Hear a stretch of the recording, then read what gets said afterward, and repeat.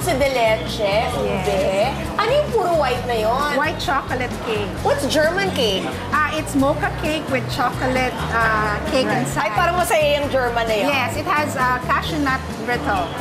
Wow, May San try natin lahat ng Gervaldes. Oo, Grabe, ang dami yung cake. Sige, una tayo here. Uh, so what do you recommend? Apart we from the baked pre-ordered mac. for you uh, baked macaroni and then we have a tropical chicken. You should try it. It's very, ano, uh, it's one of our best. French ba siya? No, no, it's baked. Bake? And then I got Kasi pag, lasagna. kasi pag highly recommended, Yeah. gusto ko i-try lasagna. Actually, tinignan namin yung top 10 namin. Yun nga, um, baked macaroni, lasagna, tropical chicken.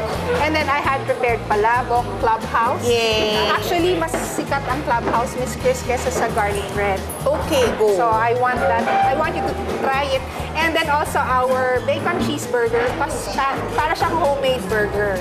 Tapos sa seafood, anong luto ng prawns? In alige talaga? Yes, in Alige. Ano? Try na natin. Why not? Ang homey-homey, no? Oh, yun talaga ang aming team.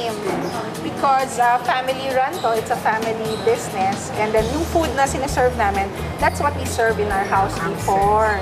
Tapos, Nag-cater kayo? we cater seldom, pero we do. We have a function hall upstairs. Usually, yung pagkain namin, kung ano yung sinaserve sa bahay, ganon din ang food namin. So, friend niyo sila Bang? Yes. Well, he brought me before. Ikaw, may napatry na si Bang sa'yo from them? Wala pa po, pero lagi niya ako ini-invite sa Pampanga. Ah, So, 28 Balik po years, same location? Ah, yes. Wala kayong plano to go to Metro Manila? Ah, none yet. Kasi yung um, mahirap yung production because we do everything do is everything. handmade.